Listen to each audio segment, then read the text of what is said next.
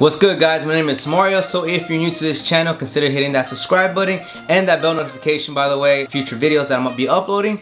But in today's video, we're gonna talk about a series that we have going on, which is called Mistake Mondays. And in today's mistake that I've done in the past that I don't want you guys to make, and that is grabbing copyright music and putting them onto your videos. So what I did when I was starting out was grabbing any dope copyright music that I was implementing them in my projects, in my videos, not client work, but you know, for my, for the most part, my videos. And by me doing that, there was a lot of cool videos that I, now that I can look back and I would love to show you guys, I would like to put them on YouTube. I would like to use them for my portfolio, but the problem with that is it's copyrighted. You really can't upload it anywhere because it's gonna get flagged or your video's gonna get put down you really can't show too much about it. Instagram, the same thing, you might be able to upload it, but before you know it, they can also put it down anytime. I haven't done them lately, but I have done them like, you know, years ago. So that's definitely something that I don't want you guys to make. Definitely look into, let's say Epidemic Sounds, look into that site, or look into Musicbed. Those two sites allow you to just have so many different options to choose like your music. And no, I'm not sponsored by those two companies. It's just me telling you guys that it's worth the investment. I know they charge, I think like 200 for the year or so.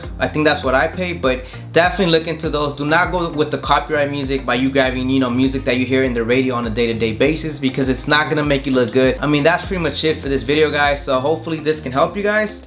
Again, I will tell you guys, do not get copyright music do not put it into your videos it looks terrible it looks amateurish and you you might regret it in the future why because as I mentioned you're not gonna be able to showcase that you're not gonna be able to upload it on your YouTube or whatever future sites they might you know, put out there for videos. So hopefully this video can help you guys. Again, if you guys are new here, consider subscribing. I appreciate you guys.